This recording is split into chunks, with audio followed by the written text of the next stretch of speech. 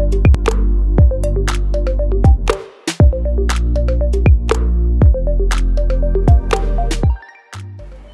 Okay, alle bereit für die Übergabe? Dann fangen wir jetzt an.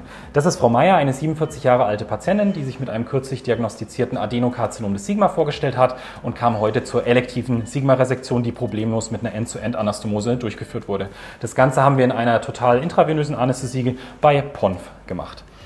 An Komorbiditäten gibt es nur einen gut eingestellten arteriellen Hypertonus und Nikotinabusus von 50 per Kiers.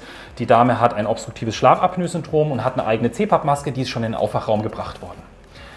Die ähm, antihypertensive Therapie wurde heute Morgen pausiert, sonst gibt es da keine Besonderheiten. Die Narkoseführung war total problemlos, der Atemweg war unkompliziert.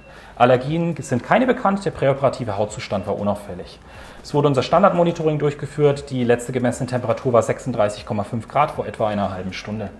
Wir haben eine 18 Gauge Kanüle am äh, rechten Handrücken und äh, die problemlos läuft und haben eine äh, Robinson äh, intraabdominell, die wenig blutig serös fördert. Der intraoperative Blutverlust war minimal, unter 500 Milliliter. Sie hat äh, 1 Liter Kristalloid IV erhalten und es läuft gerade der zweite Liter.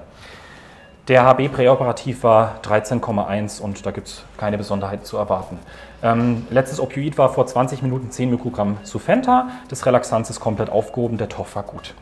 Die Dame ist für den Aufwachraum vorgesehen, darf danach auf Normalstationen. Ähm, postoperative Anordnung gibt es keine besonderen und die Schmerztherapie habe ich angeordnet postoperativ. Gibt es Fragen? Ja, wie viel Volumen darf sie noch haben? Hm, jetzt läuft gerade der zweite Liter. Den würde ich langsam laufen lassen und sie darf dann schon relativ zügig schluckweise Wasser trinken. Deswegen würde ich es dabei belassen. Dankeschön.